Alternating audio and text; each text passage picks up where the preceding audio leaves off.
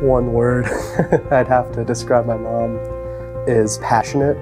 I think one of the things I like most about Miss Soper is her approachability. Oh, Miss Soper is enthusiastic. Christina is flexible. Miss Soper is committed. I think Miss Soper is so inspirational. I don't know, she can be bullheaded when she needs to be, when she's got to get something done. She can also be very loving and caring. Miss Soper is passionate. Miss Soper is incredibly hardworking. Christina is the most persevering person I have met in a long time.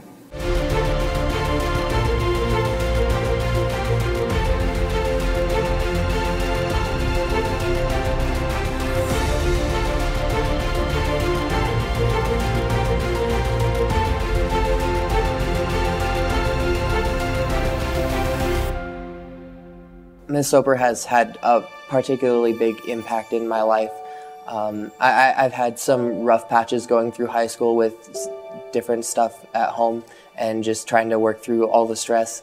And so, on a number of occasions, I, I've gone to Miss Soper and just had conversations with her, and often that just lightens up my day she knows how to reassure me that I, am loved and that someone cares for me. I've performed in our nation's capital because of opportunities that she's given me, and I've been all over the world. You know, I've made music. What else is there to do? You know, and it's all because she took the time to sit down with a seventh grader who knew absolutely nothing about something and teach him French horn. I mean, Miss Soper has shaped my future because of just the daily inspiration that she is. And I mean, watching her and learning from her, I mean, she just kind of she kind of gave me my dream. Christina kind of embodies everything that you're looking for in a really good teacher.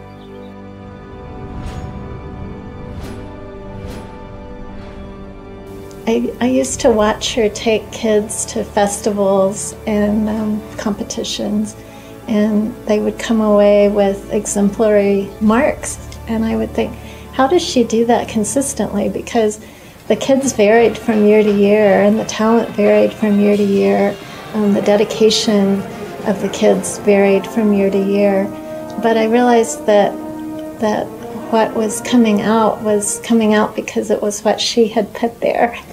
Um, she just has such um, such a, a love for her students and such a commitment to them.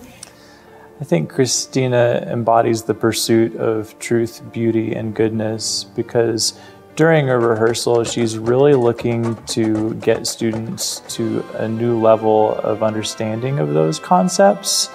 And it's not enough just to play the notes on the page.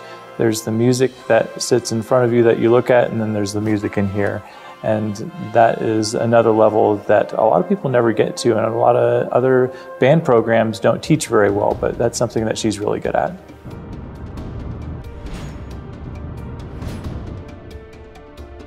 In the Titans Creed, it talks about uh, Titans celebrating virtue in scholarship, relationship, and citizenship, and I think Miss Soper uh, does a phenomenal job of this. She always reminds us of what it is like to be a TCA band member and that we have that commitment to excellence, which is uh, our band motto, I guess.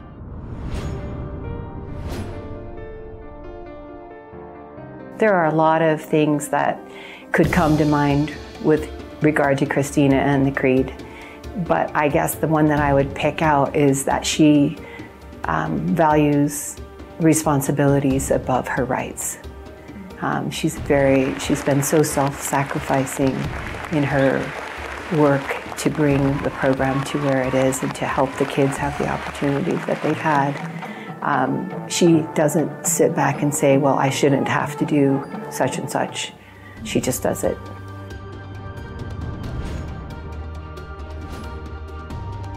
I remember there's a section of the Titan Creed that talks about how Titans love and respect and I believe care for each other, protect each other.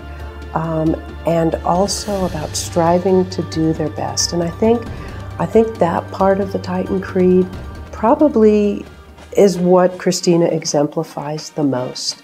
She has this amazing ability to take a group of kids and to form a band family. I think given given our best to the world, the mind, body, spirit piece, um, she, like I said, she puts everything into the program. You know, when I'm out there, when I'm heading home at night and it's dark, it's raining or cold, and there's 150 kids out on the field marching around. I don't know any other way. That that picture says more than I could ever say about her.